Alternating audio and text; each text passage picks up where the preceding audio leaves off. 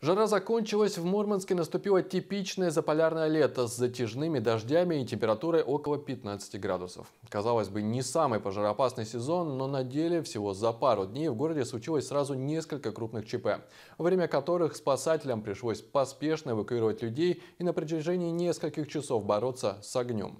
На улице Карла Липнихта в одной из двухэтажек произошло возгорание. На место происшествия незамедлительно выдвинулись экстренные службы, а здание отключили от электро электроснабжения. В доме проживают 18 человек, из них двое получили ожоги. Одного пострадавшего врачи скорой обслужили амбулаторно, второго доставили в травмпункт. Городские власти обеспечили охрану здания, жителям предоставлен доступ к квартире, чтобы забрать ценные вещи. Предложен пункт временного размещения. Волонтеры уже начали сбор средств для погорельцев.